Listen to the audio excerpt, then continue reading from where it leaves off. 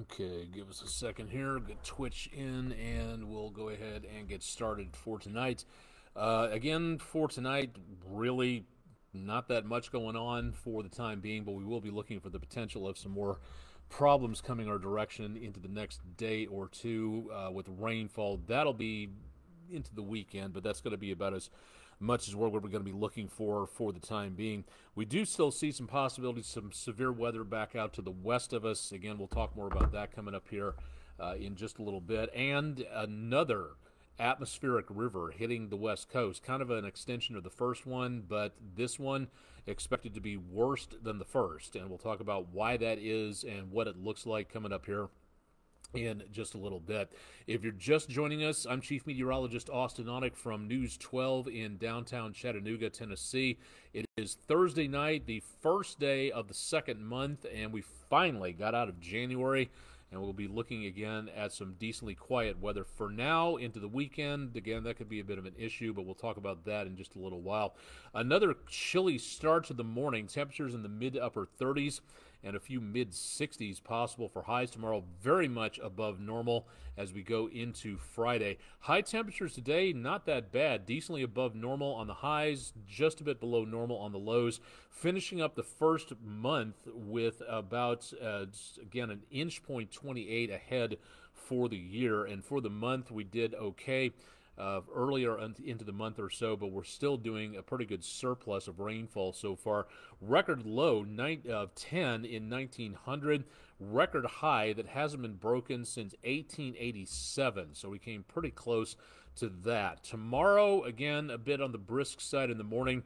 Temperatures will be back in the mid 60s through the day. Winds not quite as breezy as what we've seen for a while. And that means, again, heading out on the golf course, we could be seeing a very brisk start to the morning, but otherwise not doing too bad. And temperatures like this, 15 degrees above normal, that's pretty nice for early February around here, so looking pretty good all the way on through. On the satellite radar composite, there's really nothing in the way of radar being picked up here. We're seeing less in the way of rain anytime soon, but we will be looking for the potential of more rain out there. There is some scattered showers, very light. They were back over to around Little Rock earlier. Now some showers north of Baton Rouge and down toward the delta of the Mississippi, and some speckles of rain up toward around Rolla, Missouri.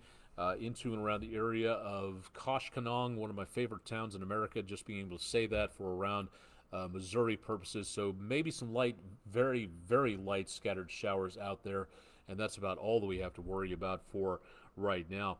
Let's go ahead and take a look outside and show you Island Cove. Uh, a couple of airplanes on the flight path out there, but otherwise not looking at too bad conditions. Mostly clouds out across the area, and temperatures Still pretty mild. Cool, yes. Chilly, if you want to call it that. Mid 40s for current temperatures, and winds are currently calm, so not much to worry about in the way of wind chills.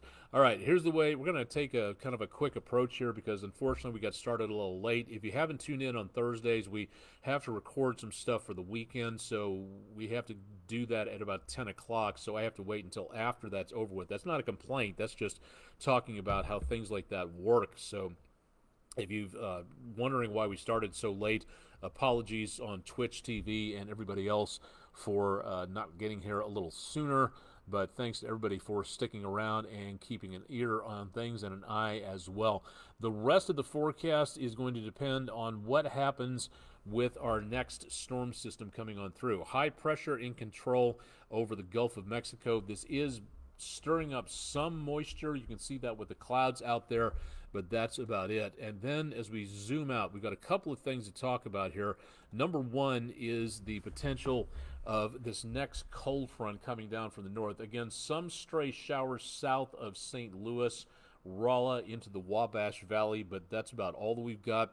This will be dropping through the area coming up tomorrow, but dry on all sides, minus that teeny tiny little bit of moisture there.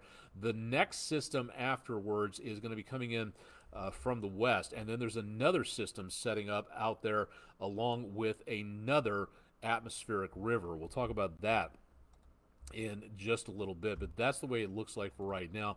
Taking the short term and again going into tomorrow morning, not that much. Temperatures again back in the lower 40s or so. Uh, getting into around early tomorrow morning, that front just north of us, temperatures back into around the mid 60s. That cold front is really not going to do anything to our weather tomorrow. Winds switch from south to north, maybe and that's going to be about it. For Saturday morning, chilly, upper 30s to lower 40s. And then we get into Saturday afternoon, pleasant temperatures in the high 50s. We start to see more potential of moisture back to our west around Sunday morning. And then that storm system out west digs down to the south of us. More chances of rain into around portions of Sunday afternoon and evening. And then some lingering showers possible as we go toward drive time Monday, but we're honestly not talking about much of anything at this time. So looking very quiet overall. Now here's the way that again is that storm system coming in from off the west coast. That's that latest storm system out there. What we are going to be seeing is again the system getting a little closer to us. Uh, tomorrow, anything past Colorado, Wyoming, and uh, areas of New Mexico. I'd watch that area very carefully for travel snarls and some slowdowns. So let's uh, be careful if you're heading out west and pack a lot of patience. Higher elevations between Denver and San Francisco, Seattle and Albuquerque could be seeing some pretty good amounts of snow out there, and we're talking the possibility of several inches worth, and we're not done yet. More on that in just a little bit. The main part of that storm system, see that bend in the jet stream right there? And that swirl going on around the panhandles, that is the next storm system that's going to be moving through our area coming up on Sunday. But once again, that digs down to the south, so it does not seem to be a major concern for us at this time. So showers on Sunday, Monday, maybe a rumble of thunder, but beyond that, that is really going to be it for everything. Now, I want to bring in uh, the internet's here page, so I'm going to see the, the graphic behind you is going to kind of disappear for a second. So I want to put this up here for everybody to be able uh, to see this. This is from the NOAA Weather Prediction Center, the WPC. This is for next week. This is for Sunday through ne- this coming Sunday through next Tuesday, and we are looking at some worse conditions than what we're seeing from this first one. So this atmospheric river event or AR event longer duration, potentially stronger than that of the one that is moving through California and the West Coast right now. Mountain snow, five to 6,000 feet, heavy. We're talking several feet of snow with this next system. This is going to be really great news for the reservoirs and the ski resorts. Not quite so much for travelers out this way. Heavy rainfall could be a problem. Mudslides, landslides, uh, could be some flash flooding out there and strong winds and high surf could be an issue into this early part of next week. So we are talking about some very heavy uh, in the winter storm situation from roughly north of Sacramento back up into the Sierras. That is where we could see some pretty good amounts of slowdowns taking place, and that could be a bit of a strong potential problem for travelers out there. And again, that is coming up next week, February 4th through 6th. Why are we telling you about this? If this has absolutely nothing to do with the News 12 viewing area, because this is the place for weather information and we want to make certain that you are ready for this particular storm system.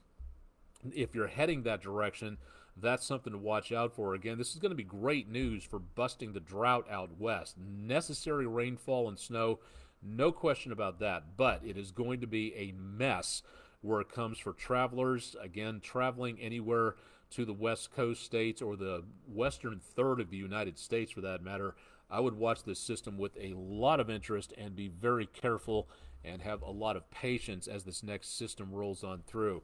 Uh, welcome to everybody on Twitch TV. Thanks for joining us on there. Carlos Yates from Memphis, welcome to the show.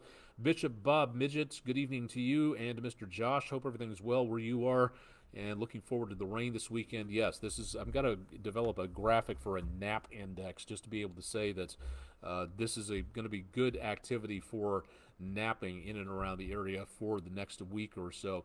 All right, taking a look at severe weather before we get into the rest of the forecast.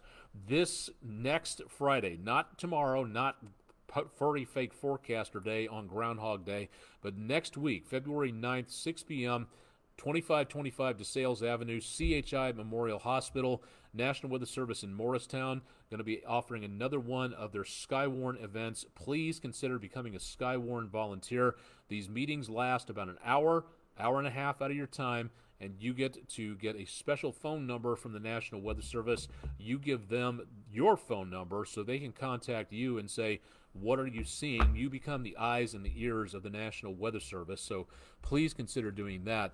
A few days after that, Bradley County, Tennessee, we're featuring the meetings that are directly in the News 12 viewing area for our viewers here so they know what's coming up. And there's not that many of them this time around. So far, the National Weather Service, Peachtree City, Georgia, has not offered any meetings that we've seen. I'll have to check that again. National Weather Service in Huntsville, we'll talk about that in just a little bit. But for Bradley County on Thursday, February 15th, 6 p.m., at the Cleveland, Tennessee Bradley County 911 Center. Again, 6 p.m. Eastern. Register for a seat, totally free paid for by your and my tax dollars, but register for a seat so the National Weather Service knows how many people are showing up. Weather.gov slash MRX, just to be, again, a polite neighbor on that. Now, for anybody in the community who is deaf or hard of hearing, we want to make certain that you are aware of this type of situation.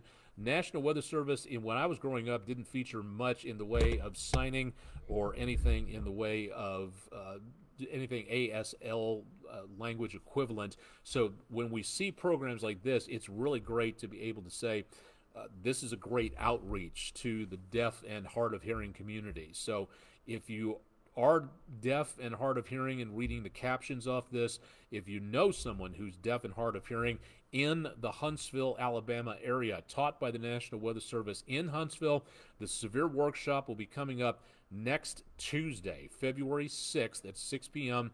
at AIDB Huntsville Regional Center, 4092 Memorial Parkway Southwest in Huntsville. Again, this is kind of off of our patch, but with something like this that is really great outreach to the deaf and hard of hearing community, we want to make certain everybody is aware of this to spread the word about what's going on really goodwill from really great goodwill from the National Weather Service. Again, more information at weather.gov slash HUN. ASL and CART services will be provided. If you'd like to find out a little bit more about that, again, please go to their website for more details on that. All right, let's take a look at the seven day forecast. Island Cove Marina and Resort on the EPB Fiber Optics WeatherCam network in the background. Fake forecaster, furry fake forecaster day tomorrow. Temperatures back in the mid 60s, very much on the mild side. Cooler as we head towards Sunday, and that's going to be about the only chance of rain that we get. It's a lot less than what we saw a few days ago, but that'll be our next best chance of rain, mainly Sunday evening through Monday, a few scattered showers there. Temperatures remain quite mild next week. First full week of February is going to look very much on the mild side, almost like late March. Uh, very mild conditions out there, and not excuse me, excuse me, allergies are playing up again.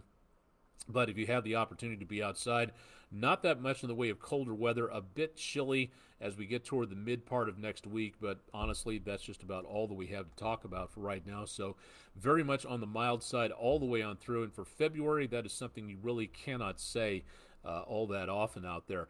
Want to make everybody aware of this in and of the fact that, okay, first of all, a- astronomical 67 days and counting until the total solar eclipse. Now, we won't be in the path of totality here in Chattanooga but we'll be close enough to where it is going to be a really cool show. So get ready for that. 67 days away. Spread the word, talk it up, talk about science, get more information out to everybody as you possibly can. This is happening tonight into tomorrow morning. If you haven't heard about this, this is absolutely, completely, and totally true. This is not fake science, this is not fake news. What's going to be happening is a large asteroid, about the size of, say, Finley Stadium is going to be winging its way through our part of the solar system. Now, the area between the Earth and the Moon is called, that's, that right there, that distance is called one lunar distance. And that is approximately, give or take, about 240,000 miles. So that's a long way to go to get there. One asteroid, about a little few weeks ago, a lot smaller, went right between the Earth and the Moon's orbit. This one is a little farther off. It's about seven times away from the Earth as the moon is from the Earth, so it's a little bit farther distance. But if you take a look at this in the context of the size of the general size of the universe, this is a cosmic cat's whisker for us. It is not going to hit. No matter what you hear from anybody else out there, there is not going to be a risk of asteroid 2008 07 OS7. Sorry about that. This right here, again, will be swinging very close to us, but it will not be coming through that Earth Moon keyhole area, which is where asteroid Apophis might be swinging into coming up in a couple of years' time. So this is it's close. It's not as close as it could be. It's not a danger to threaten, but it is still a near Earth object or NEO.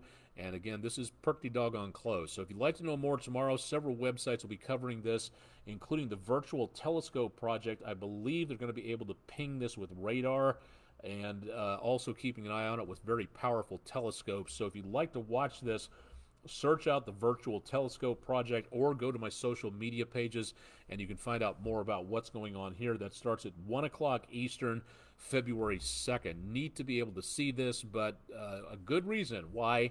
And everybody says, well, what do we need to have a space program for? This is why we need a good space program, not to go out and throw missiles at it although that may be a possibility at some point in time in the future. Learning about these things, this is one of approximately just 25,000 near Earth objects in general. There are millions of other pieces of uh, debris left over in the solar system just flinging around all over the place. Some of them hit our atmosphere and we never know it. This one is known as a city killer because it's about as tall as the Empire State Building, maybe a little taller than the Eiffel Tower, but it would have enough impact to basically destroy a city.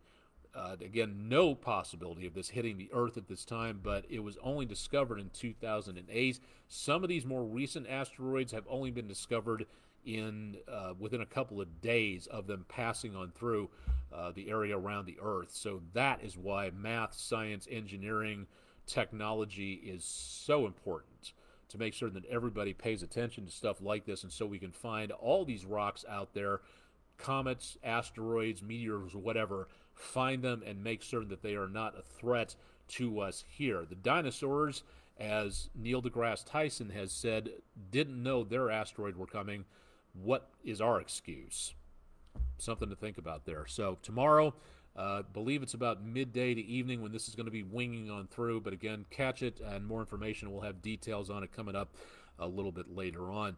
Uh, let's see. Paniagua Auto Mall weather question of the day. Tropical storms most commonly retired letter in the alphabet.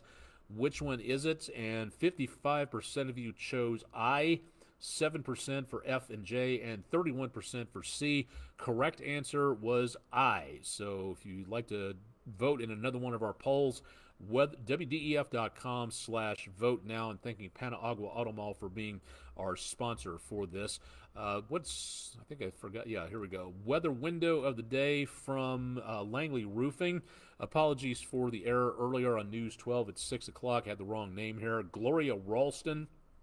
Beautiful view from above Salt Lake City looking back toward the Rockies excellent picture right there. Love pictures. I was, I was born in the Rockies, so that's uh, something that speaks very highly to me on there.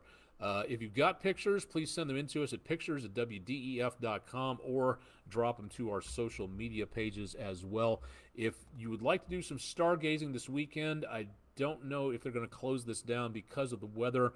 Uh, hopefully, the lecture will go on at the UTC Clarence T. Jones Observatory on 10 North Tuxedo Avenue. Uh, the lecture this Sunday, February 4th. Hopefully, it clears up to give us some peeks at the through the telescopes. Whether or not that happens, we'll let them make the decision on that. And I'm sure they'll post it to social media. Barnard Astronomical Society. They'll be holding their star party about a week after Clarence T. Jones UTC uh, Observatory. That'll be Saturday, February 10th, 6 p.m. to 10 p.m. Harrison Bay State Park. Harrison Bay State Park, Tennessee, and more information about that star party at barnardastronomy.org. One last uh, one bit of information, trying to throw this out there for uh, everybody. Uh, I'm an amateur radio operator. It's one of my favorite hobbies, as well as being a stargazer, an astronomer, a chef, things like that. So, if you'd like to know more about amateur radio, no better place than a Hamfest. And the Dalton Amateur Radio Club will be holding their quote first and best Hamfest in Georgia unquote. The Dalton Hamfest this uh, February 24th, 8 a.m. to 2 p.m. There is an admission fee, if I'm not mistaken. You can check out their website or, again, find out more. Just search Dalton Amateur Radio Club, held at the North Georgia Fairgrounds, 500 Legion Drive in Dalton. Again, Saturday, February 24th, uh, 8 a.m. to 2 p.m. So find out more there uh, if you'd like to know more about amateur. I got my amateur radio license in 2000. I wish I would have gotten it much sooner because it is a very fun hobby to take advantage of and to learn all about stuff. Your kids could benefit from it. It's a really neat idea. That should do it for tonight. And again, a uh, few chances of rain, but definitely not anytime soon. So looking very quiet overall.